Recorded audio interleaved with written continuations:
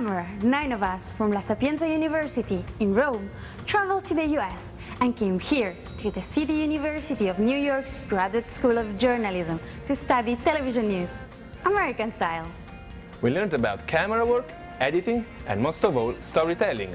And they gave us two weeks to produce our own stories. In our story, what is it really like for a foreigner to get direction from a New Yorker?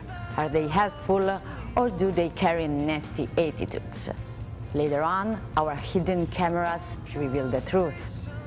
But first, we'll take you to the heart of New York, Times Square, where the crossroads of the world have been well blocked off. The space once known for traffic jams is now filled with chairs and pedestrians. Yes, Times Square has become a piazza in New York. We spent a few days there and we met some pretty interesting characters.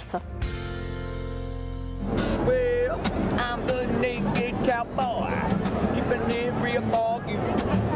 I'm naked cowboy, you gotta do what you gotta do.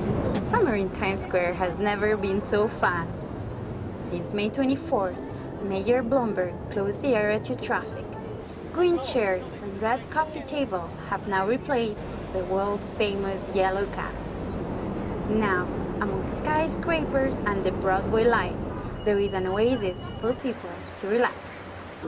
Today, a group of people came all the way from New Jersey just to dance.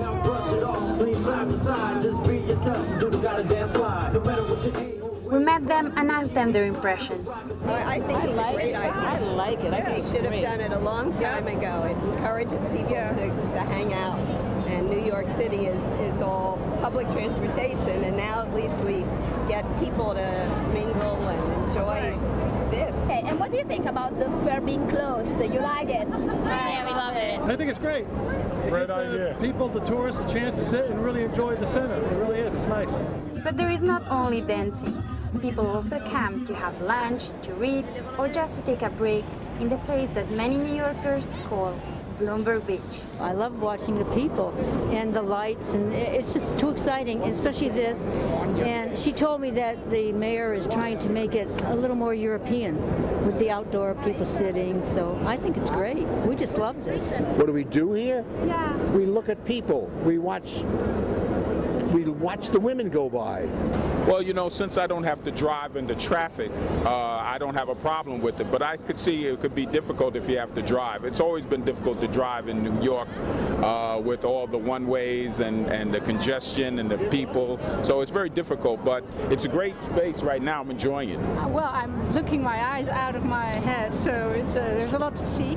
Whether this experiment works or not, one thing is sure Times Square will never be the same. We're hanging out in New York City, Times Square. We're hanging out in New York City, in Times Square. In our next story, we put New Yorkers to the test to see just how difficult it would be for a foreigner to get directions. We set up some hidden cameras in Bryant Park and came up with some fascinating results. They say New Yorkers have a crazy lifestyle.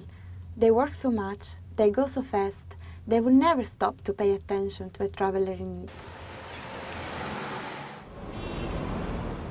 Um, excuse me, are you from New York? May I ask you a question, please? Excuse me, can I ask you a question? Excuse me, excuse me, madam. Can I ask you an information? Are you from New York? So, we pretended to be tourists lost in New York as way to discover how New Yorkers behave when asked for directions. We started with Cecilia. May I ask you an information, please? Oh, we are at Times Square, okay. Yeah, just go north. Just go out there, straight north. North? Yep, that way. Um, what you want to do, uh, do you want to walk or take a subway?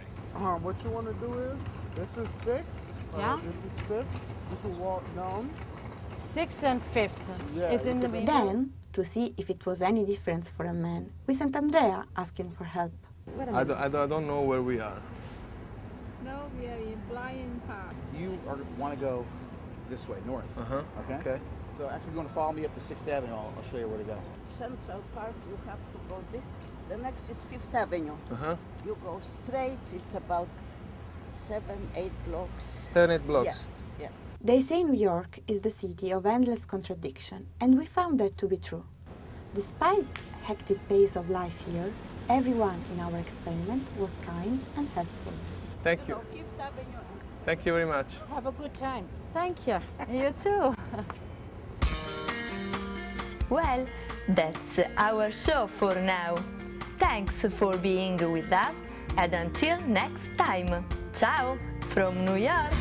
Hey.